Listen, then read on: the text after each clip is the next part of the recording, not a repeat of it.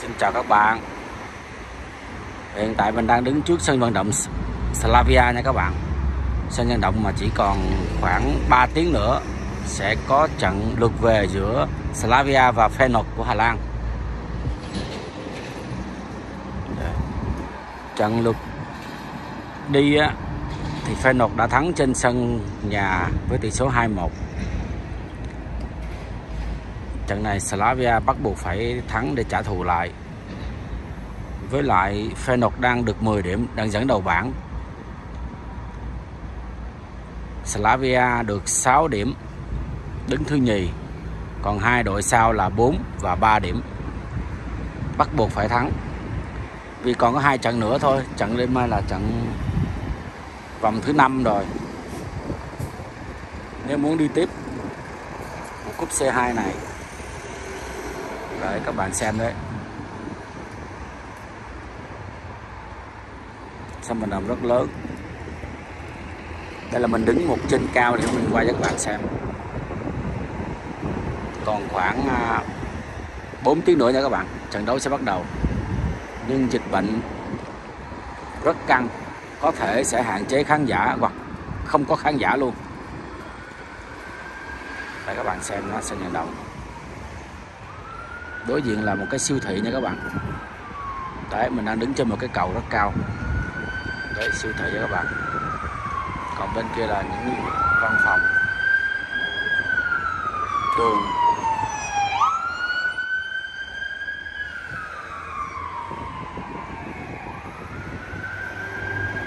nếu mà qua trận này á, thì Slavia được 7 điểm. Mà đội đứng thứ ba mà thắng cũng được 7 điểm luôn.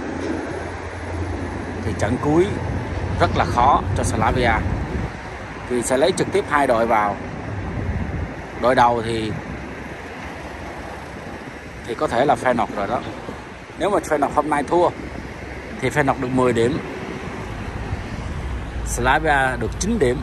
Đứng thứ nhì.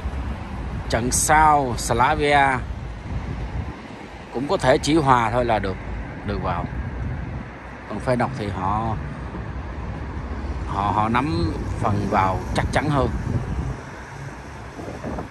Rồi, mình sẽ, khả năng mình đi xuống mình quay vào một cái sân này cho các bạn xem. Hiện tại là bây giờ chưa thấy chưa thấy ai vào. Chắc bị bị hạn chế rồi. Đằng kia kìa, xe kìa, cái bãi xe đấy là chưa, chắc còn sớm quá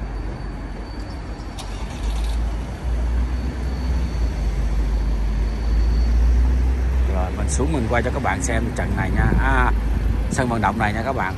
À trận này chiều mình không đi nha các bạn. Lý do là mình không có vé.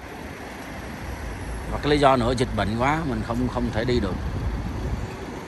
Mà lạnh lắm các bạn. Rất lạnh gió không ngồi bên ngoài nổi đâu. Mình sẽ xem qua tivi rồi tạm thời mình sẽ đi xuống mình sẽ quay cho các bạn xem một vòng của sân vận động này nha. Các bạn tiếp tục theo dõi. Rồi, mình đã đi xuống rồi nha các bạn. Rồi, mình sẽ quay sơ các bạn xem. Đây là cái cửa vào số 1 nha các bạn. Vẫn đóng cửa, chỉ có chú bảo vệ bên trong thôi.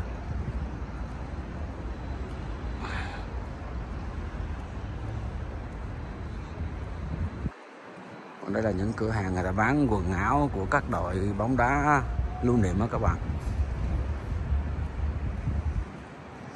Nhưng bán riêng cho Slavia thôi sân này tại sân của Slavia mà.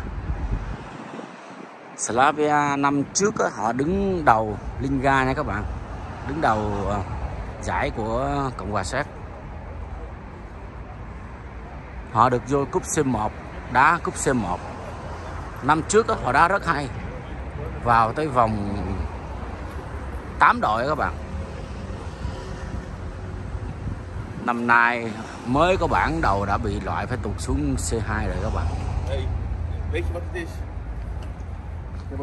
Đây là những cái quán bên dưới sân vận động nha các bạn. Còn kia là những cái còn kia là cái khách sạn. Khách sạn của sân vận động này. Cái khu này người ta gọi là Eden nha các bạn nhưng sân vận động thì lại là sân Slavia mang tên của đội bóng.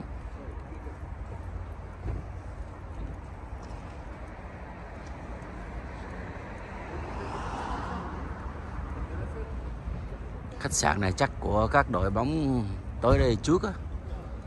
Ở một hai ngày trước xong người ta ra người ta tập, ta ở đây nha các bạn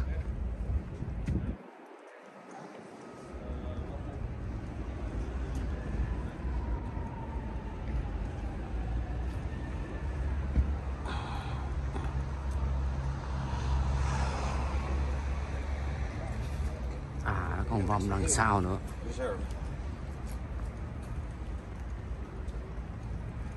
Đấy đằng sau á, cái tròn tròn các bạn nhìn đấy. Chắc mình sẽ đi một vòng ở đây mình cho các bạn xem cái sân vận động này. Nó lớn quá chắc phải đi lâu ạ. à.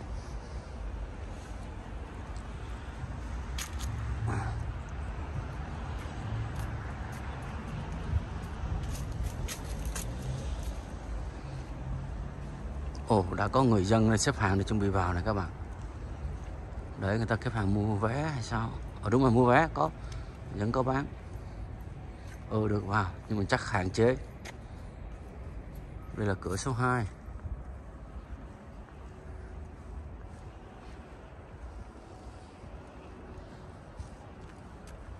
bên dưới bên kia có một có, cũng có nhiều sân nhỏ nhỏ. Chắc để cho các đội thiếu nhi đá các bạn. Ừ, cũng nhiều đó. Ba bốn sân nhỏ dưới đó.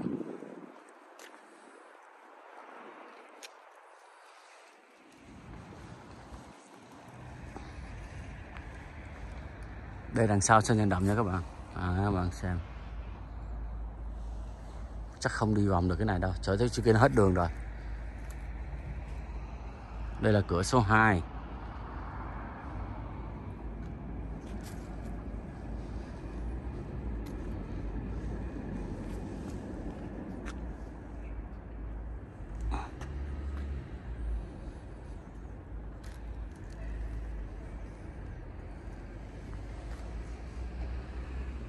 còn bãi xe thì nó bãi ngầm nha các bạn bãi ngầm mặt bên kia.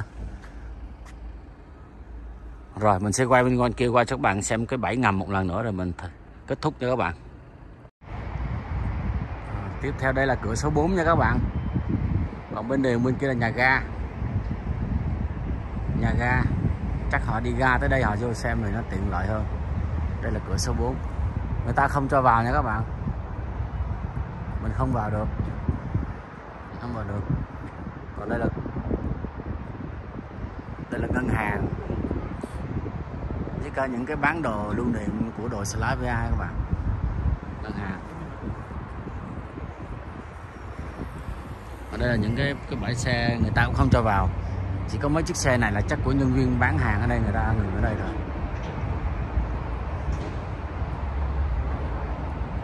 Đây đây là ngân hàng nha các bạn cho nó nhỏ lại. Để các bạn thấy, bên kia người ta rào rồi, không, mình không vào được, nên mình không biết.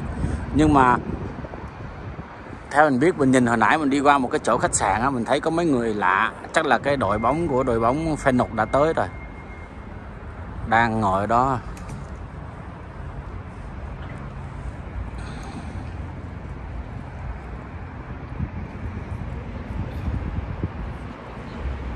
Đấy đây hết cái mặt này. Bên đường là vẫn cái quán à vẫn cái siêu thị nha các bạn. Đấy, cái vòng tròn đây. Tất cả cái này là siêu thị Tesco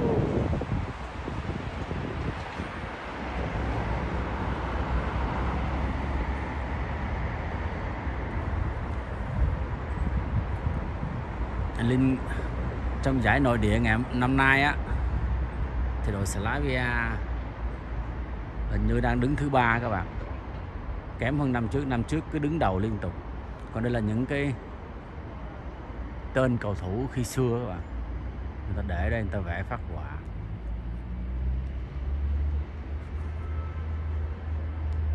Rồi, mình tạm ngưng ở đây nha các bạn. Các bạn nhớ ủng hộ cho Slavia. Trận này để thắng, có thêm động lực tiếp nối, đi tiếp vào vòng sau. Chúc các bạn nhiều sức khỏe, hẹn gặp lại video sau. Xin chào.